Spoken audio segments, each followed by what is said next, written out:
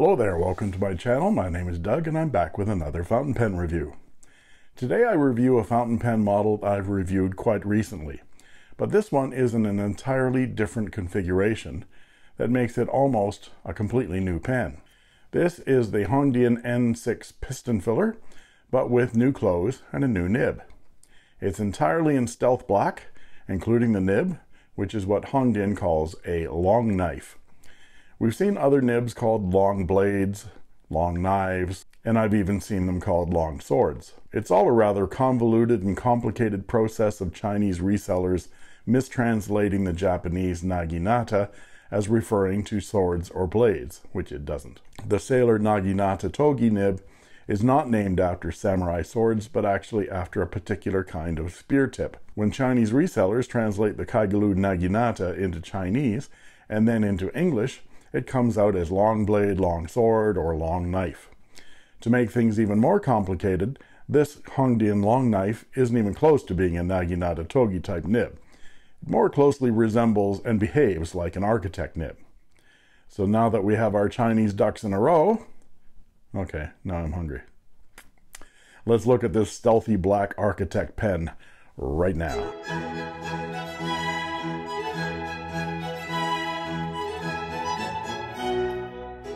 So a short while ago, I did a review on this Hongdian N6 piston filler, and I quite liked the pen. Um, one of the difficulties with it was that I couldn't find a replacement for that nib, and it's very fine. Uh, but then a black version, an all black version with a red ring on it came out, and I kind of liked the aesthetic of that because I have this uh, Sheaffer icon which has that Kylo Ren thing going with the the black and the red.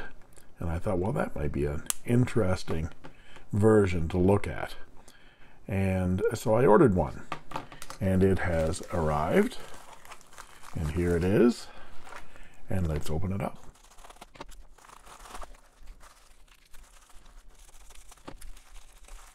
And there be the pen. That's some cellophane.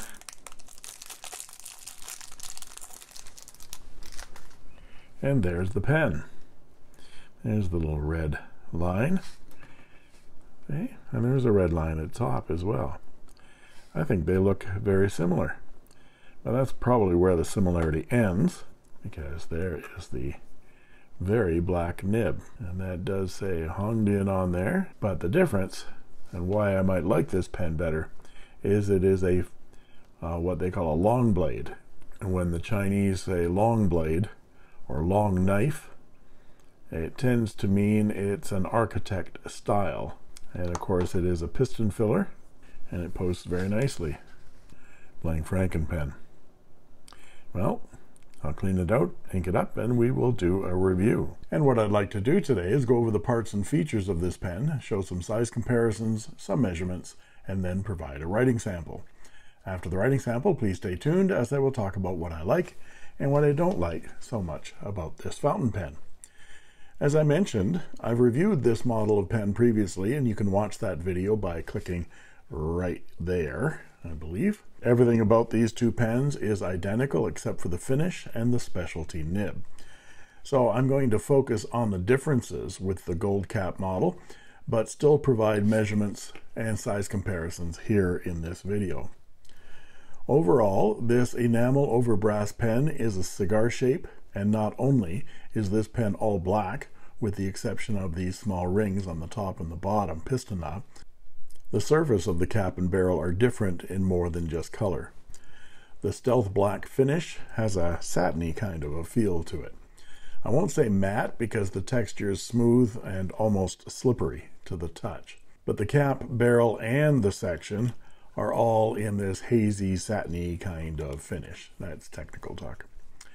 The caps are identical in shape and in the markings, the little hieroglyphs. I think these are uh, partial Chinese characters. That's what one of my viewers mentioned. And the cap band has the same markings on it, stamped into it. LT Hongdian on the front and the model number N6 on the back. It would have been cool to have this ring in the same red as the end rings though. The cap unscrews with one and a half turns to reveal the black satin tapering section, a large ink window, and a glossy black enamel over steel a long knife, nib, and black ebonite feed. The nib and the feed are friction fit and not part of a nib collar assembly. These cap threads here are not sharp at all. They're very, very smooth and they don't impede your grip. This little groove at the end of the section here uh, doesn't serve any purpose other than decorative as far as I can tell. But when you dip your pen in the ink, it does trap some ink in that groove. And so it's a little bit of a pain to get it out of there. Uh, and if you don't get it out of there, you'll get it on your fingers. And let's get a closer look at this nib. It has engravings identical to the gold model, that uh, Pallas engraving right there, uh, Hongdian, and the nib size, only the black one has an F, and then you can just barely make it out there. There's a Chinese character there before the F, and I would assume that it stands for uh, long knife. The section does not unscrew to access the ink chamber, and with an unscrewable nib and feed unit, the only way to clean this pen out is to go in through the top by pulling that nib. And with an ebonite feed, you don't want to be doing that for fear of breaking it. The best way is to get one of these little Hongdian wrenches uh, that fit into, I'm going to show you on the uninked version here. There's two little notches on the base of the piston mechanism right there and there. And this little grabber goes right in there. And then you can tighten your piston down on top of that wrench and then give it a, a reverse turn to unscrew that piston mechanism. And then the piston just just slides right out like that. And the piston is a reverse thread and unscrews easily to get inside of the barrel to rinse and clean it out. You can get these little wrenches for free when you buy the N6 or the N7 models from Sally's Etsy shop called Easy Buy. Her prices might be a little bit higher than eBay or sometimes even AliExpress, but she actually communicates with her customers. Buy the pen from her and leave her a note that you would like to have this little wrench included with your purchase. The inside of the cap shows a black plastic liner that helps seal the nib from drying out. The cap posts deeply and securely and is one of the features I appreciated about my first N6. The pen is nicely balanced in the hand as that cap isn't inordinately heavy so it doesn't backweight the pen. Here again, aesthetically, I would have appreciated the cap band being red or uh, another red ring somewhere around the section to keep two red rings visible when the pen is posted or capped. So when we're capped, we have two red rings, but when we're posted, we're down to one. It's a style thing. The pen is plenty long enough and well balanced to write with, posted or unposted. I bought this pen from Sally at her Easy Buy Etsy store for $43 US, including $6 shipping. The long knife nib option is $2.30 more than the EF and the F sizes. Now let's look at some size comparisons. And here is the Hongdian N6 with a Hongdian N7 piston filler, a Narwhal Nautilus piston filler in ebonite, a Sheaffer Icon, and a TWSBI Eco. Now let's look at them posted. And here they are posted. I use this Sheaffer Icon a lot, and I replaced the stock nib uh, with a mini Fude that writes like a dream. And of course, the Narwhal Nautilus doesn't post at all. Now let's look at them unposted. And here they are unposted. And watch tomorrow for my review of this new to me TWSBI Eco with a stub nib. Now let's look at some measurements and I'll be back with a writing sample.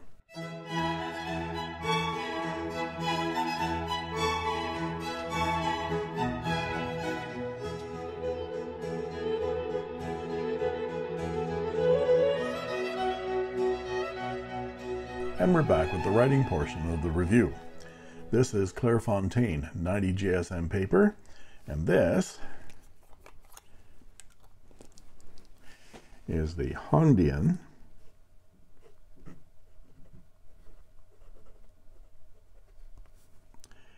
N6 black. And it has a long knife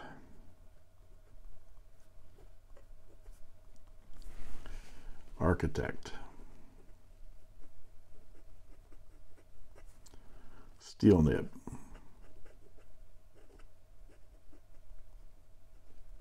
let's check the wetness well it's not very wet at all I originally inked it with J. Herbin Shogun, but I found it wrote very gray and very dry. So I swapped inks to Ferris Wheel Press.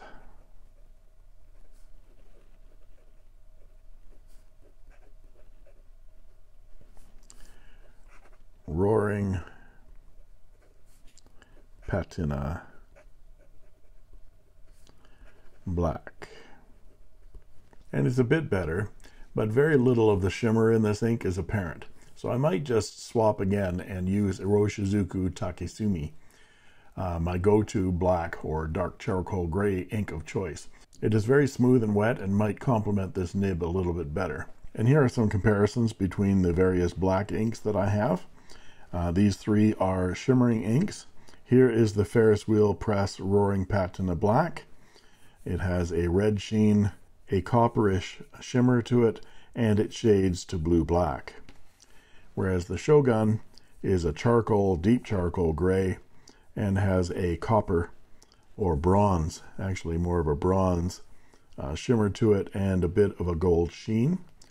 And the Stormy Gray is a gray color, a charcoal gray that has a gold shimmer to it. That and the Iroshizuku uh, Takesumi, is the extent of my black ink collection. Call me adventurous.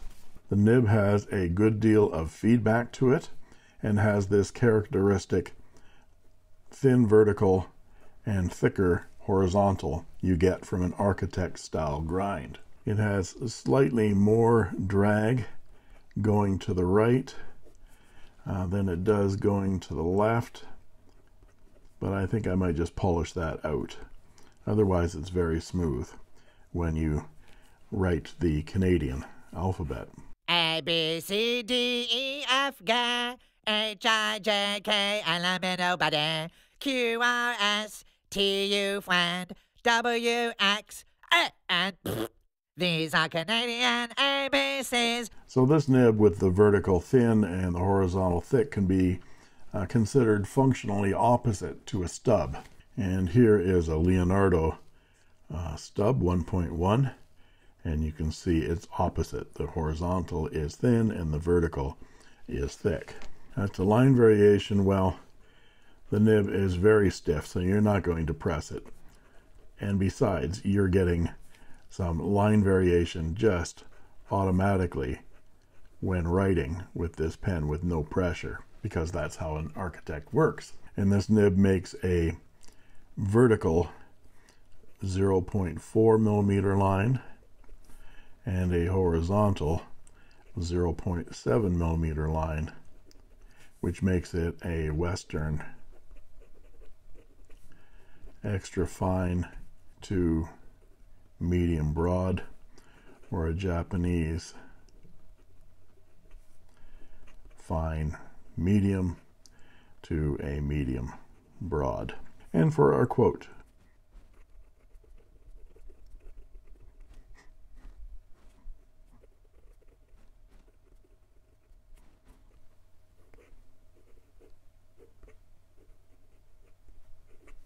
And for some reverse writing, it's a little bit scratchier, but it's actually keeping up and it's giving me a very thin line. So there's lots of versatility in this nib and for some quick writing.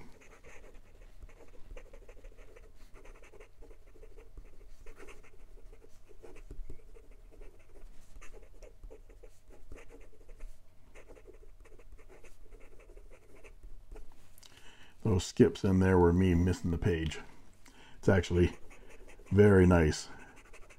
And that feed, I'm sure it's ebonite, that feed is keeping up very nicely with that line. So what do I like and what do I not like about this fountain pen? Well, All the same things I liked about the gold cap version of the N6, I still like about this stealthy black version. How it posts, the nice thick section, the clip, the ink window, and the ink capacity. And add to that list this Architect nib and the overall black and red visual vibe. As to my concerns about the pen, well, Hongdian answered one of them, nib choice. One of the reasons I don't write with either my N7 or my other N6 was that they're just a little too fine a line for my writing style. But with this long knife architect, it's really in my wheelhouse. I like the lazy man approach to line variation. It requires no effort on my part. Come on, Dad. Let's go on the water slide. I can't fit. I'm afraid I'll get stuck. I'll just go in the lazy river. But, Dad... No, son. This is the life I've chosen. When your day is long And you're sure you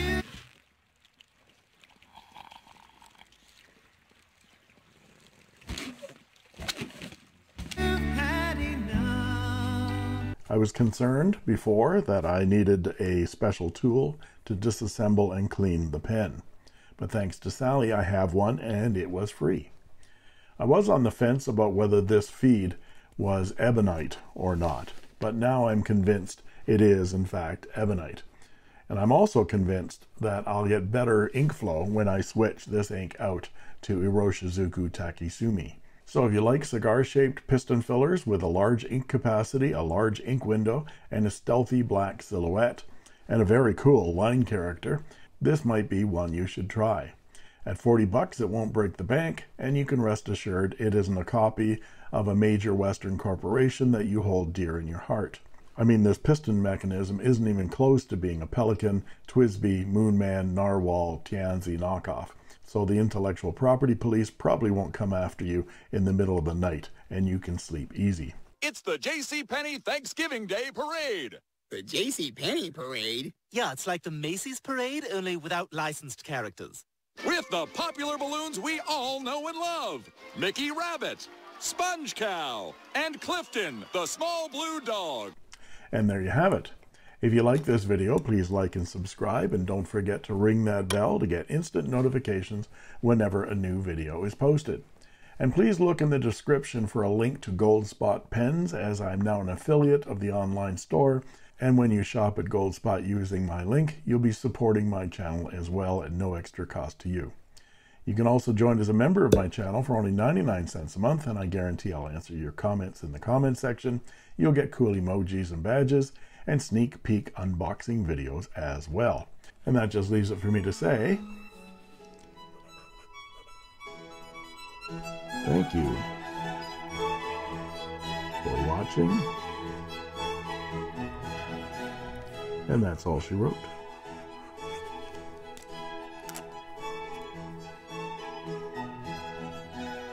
I made this.